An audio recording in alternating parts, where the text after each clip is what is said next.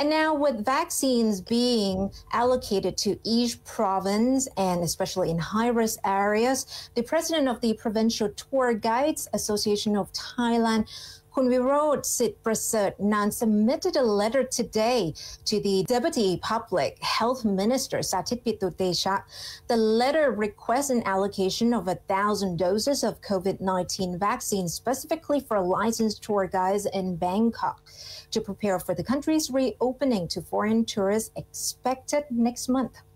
Mr. Wirod explained that this association had been contacted by the Disease Control Department about vaccination of tour guides, but there has been no clarity on the issue so far, so a letter was needed to reiterate their request. Many tour guides have been hit hard by the pandemic, with many having to take other jobs instead. So Mr. Wirod also wants the Public Health Ministry to pay more attention to tour guides who play an important role in the Thai tourism industry. ประกาศทั่วประเทศเลยให้มักประเทศอยู่จังหวัดไหนก็ตามนะฮะเข้าไปฉีดได้เลยไม่งั้นแล้วทุกคนเนี่ยตอนนี้เราก็ทราบนะครับกับภูมิลำเนาเดิมก็เยอะเพราะนั้นจะให้เขามาที่กรุงเทพก็ลำบากนะฮะนั่นหนึ่งพันโดสนี่ไม่ใช่หมายถึงว่าเราเพียงพอนะแต่ว่า